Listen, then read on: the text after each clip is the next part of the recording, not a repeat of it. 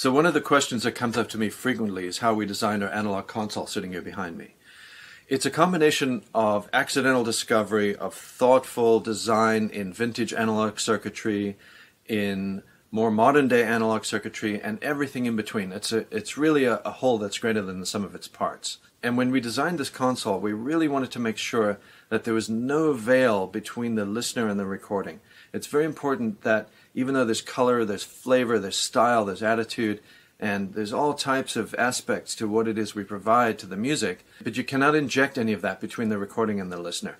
The flavor of what we do must be injected into the song and let it bloom and let it really breathe out so that that listener can connect with that song, that performer, everything about that recording.